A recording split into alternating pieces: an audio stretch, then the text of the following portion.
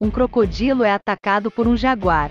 Jaguar ou onça pintada, como queria chamar, são na verdade o mesmo animal.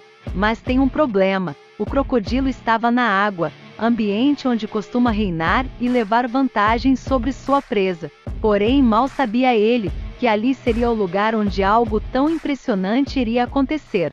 O jaguar bem escondido, espera o momento certo para pular na água e surpreender o crocodilo despercebido.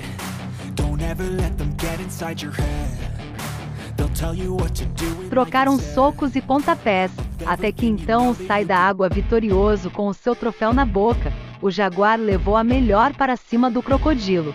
Comente na sua opinião, o jaguar ganharia esse embate se o crocodilo não fosse pego desprevenido?